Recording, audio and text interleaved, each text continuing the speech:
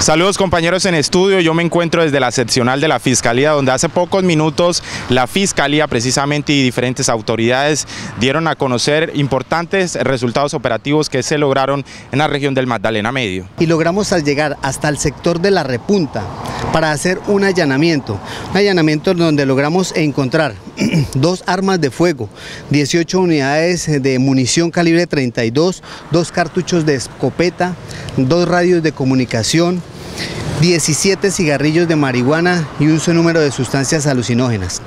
Lo particular de este caso es que capturamos a dos, dos grandes mitos de la inseguridad, como es alias el menor. Alias el menor era un delincuente que venía ocasionando grandes eh, afectaciones a vehículos repartidores de cerveza, a comerciantes y a distribuidores de víveres y abarrotes.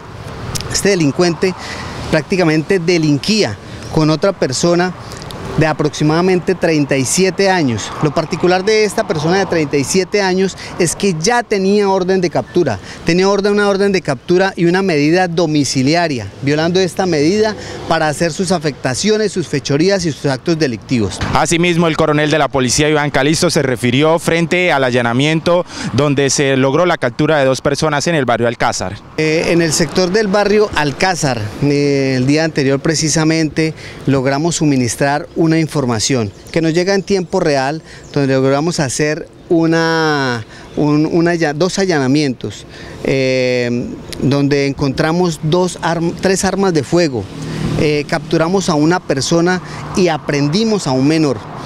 Estos delincuentes se dedicaban al tráfico y fabricación de sustancias alucinógenas. Lo particular de este caso es que estas personas consumían sustancias alucinógenas y en su gran, en su gran eh, grado de exaltación salían a cometer los actos delictivos, salían a cometer algunos atracos, a, comerciantes, a personas que eh, se dedicaban de pronto a hacer alguna transacción y estaban prestos a atracarlos y a quitar, despojarlos de sus pertenencias. La Fiscalía, la Policía Nacional y diferentes instituciones invitan a la comunidad a denunciar cualquier situación que ponga en riesgo la integridad de las comunidades. Es la información por este momento desde la seccional de la Fiscalía. Usted en el estudio tiene más información. Buenas tardes.